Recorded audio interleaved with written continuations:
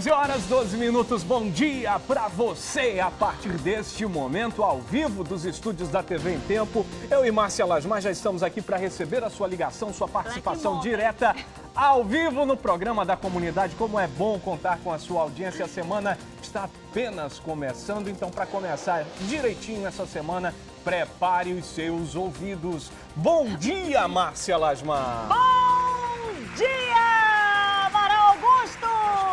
fraquinho Foi, esse. né? O que, que você fez no fim de semana, além de Eu trabalhar, é claro? Não fui.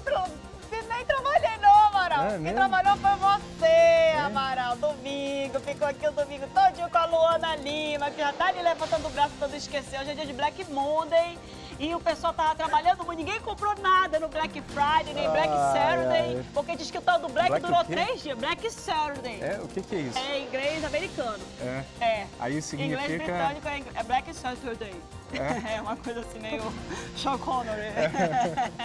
black sábado, Black domingo, Black sexta-feira e só de raiva eu já vim na segunda-feira de Black. Também. Pra combinar contigo Faltou aí. óculos escuro. pra- Não, não tem negócio de Bibi, né? Né? É o W-I-B, Woman in Black. Deixa eu fazer uma denúncia. Tá- Onde é? Onde é que Claro, o está pessoal fazendo passou curso a de inglês? semana toda falando Onde é que inglês. quer fazer o merchandising? Não! Não? O pessoal passou a falando inglês nesses Fatura black da pra vida. Márcia Lasmar Olha, aí, hoje mesmo tem black monte. Tem black monte aqui. E quem me ensinou a falar o monte foi o Amaral Augusto. Fala aí, black monte. Sei lá. Na hora tu vai falar, não tem essa não. Olha só, gente. Amaral, ontem fui tomar café. Não foi, nem, não foi na Joelza, não. Tem Não? Joelza não, Priscila. Não foi na Priscila. Onde foi? Hum. Não foi no Tapiri. Ontem eu fui tomar café lá no Seu Rui. Onde é o Seu Seu Rui? Rui é o café lá da Tia Andreasa, que a gente conhece há muitos, muitos, muitos anos. E junto com a dona Nelly também. É uma casa que o Seu Rui fez lá, o café lá na garagem. Eita, é um beleza. O que, que você comeu lá no seu Rui? Vixe Maria, Amaral. Vamos lá listar aqui. Olha, ver eu vou dizer, eu Vamos comi lá. banana frita, pão Banana, com tucumã e queijo pão. Coalho, tapioca com tucumã e queijo coalho. Quer que eu diga que a chefa Vai, comeu? vai, que a chefa vai. tava lá também com a família Mande- todinha. mande ver. Que a chefa comeu? Ah. A chefa só comeu cará e batata doce. Que a chefa tá fit. Isso na sua frente, é porque É. você não viu a Eu sacolinha tava pra só de viagem. olho com o binóculo na mesa dela. Aí, olha só, a dona Nelly veio comigo reclamando que tá tendo assalto lá na Tia Andreasa. Qual é a Eita. reclamação dela?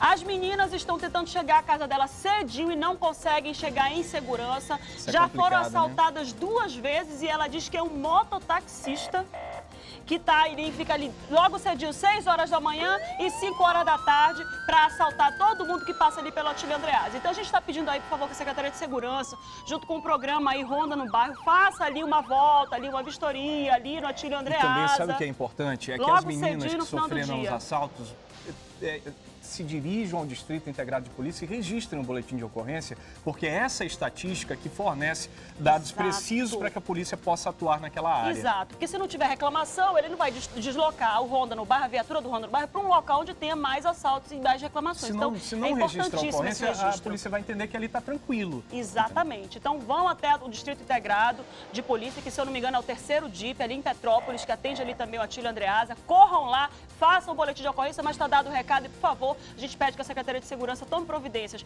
porque é muito ch- chato a pessoa chegar às 6 horas da manhã para trabalhar lá na casa e já chegar assaltada. E ir embora para casa você na falava saída aí do café, do café regional, o diretor Ivan Nascimento estava reclamando aqui no ponto, dizendo que ele não tomou café e que você fica falando de café essa Da hora. próxima vez a gente vai tomar café, tá, Ivanildo? Opa, Ivanildo não, Ivan. A gente vai lá, tá? Vou te chamar pra gente ir.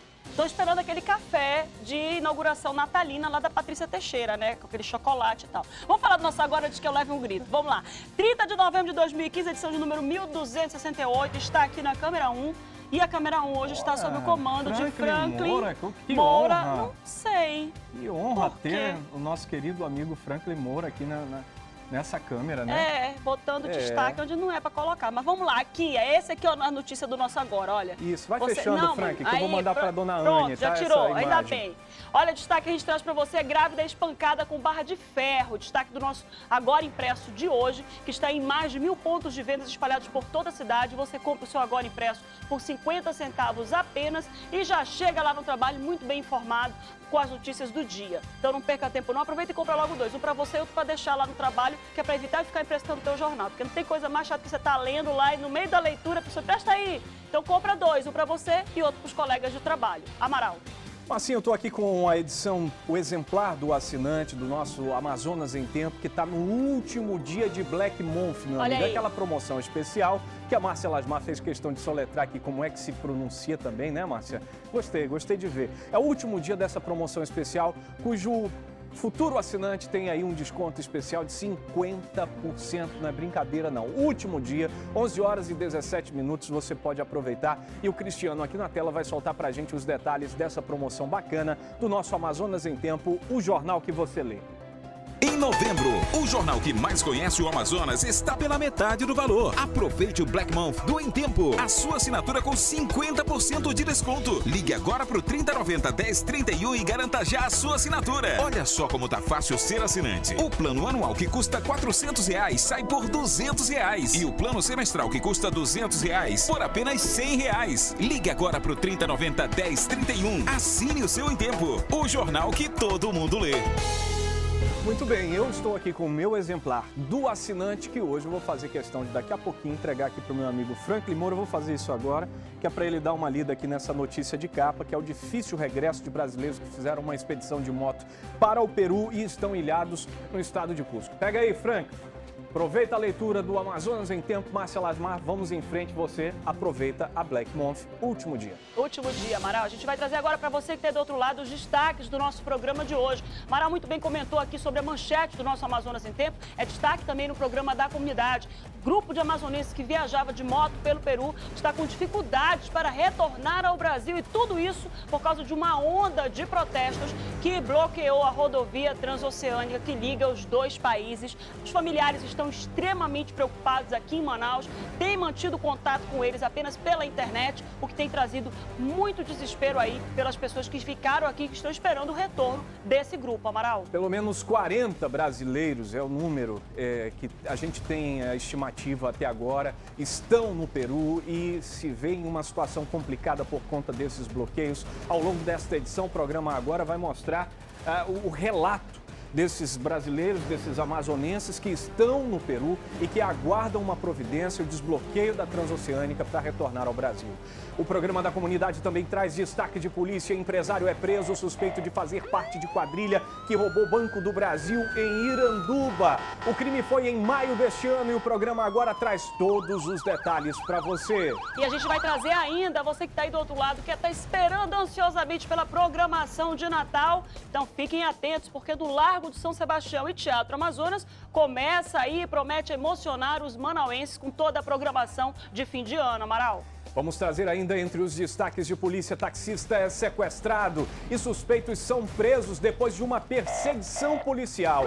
Eles só conseguiram é, barrar esses suspeitos que estavam neste táxi depois que eles perderam o controle do veículo, acabaram batendo ali no canteiro central da Avenida das Torres e aí o resultado, com eles foram encontrados dinheiro e uma pistola que foi utilizada para ameaçar o taxista. É destaque de polícia, é programa agora muito mais informação e comunidade na sua TV. E você pode ligar e participar 3307-3951 e 3307-3952. O Agora desta segunda-feira já começou.